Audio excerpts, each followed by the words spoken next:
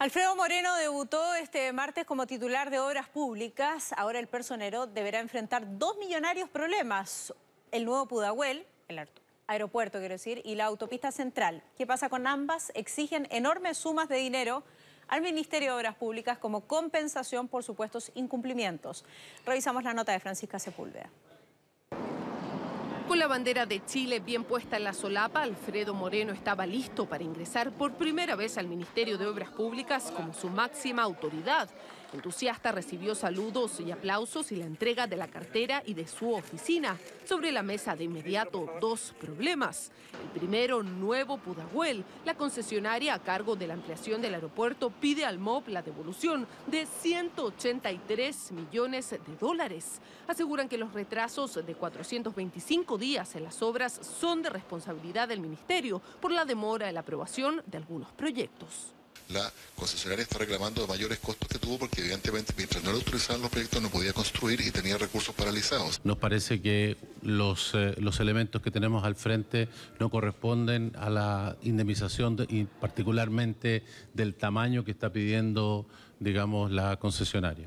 El segundo problema, la autopista central exige el pago de 3.310 millones de pesos por incumplimiento en el contrato de concesión. El MOB le habría impedido a la autopista subir las tarifas de sus TAC durante dos años consecutivos, a pesar de que el contrato sí les permitiría hacerlo.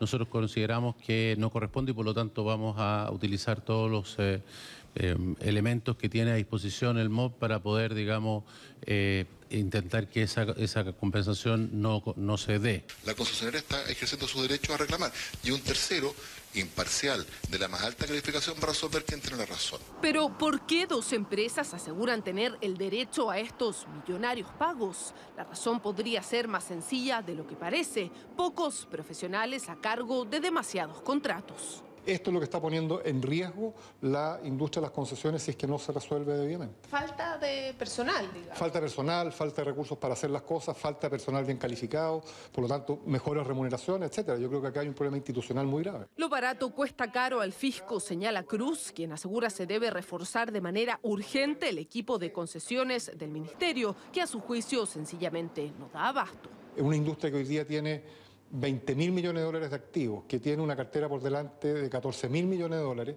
administrarla con el mismo personal que había hace 20 años atrás me parece francamente un despropósito. La Comisión de Obras Públicas de la Cámara citará al ministro para que explique cómo intentarán detener estos pagos. Nosotros queremos aclarar absolutamente todo Moreno no alcanzó a completar 24 horas en su nuevo cargo y ya tiene sobre su escritorio dos grandes y millonarios problemas por resolver.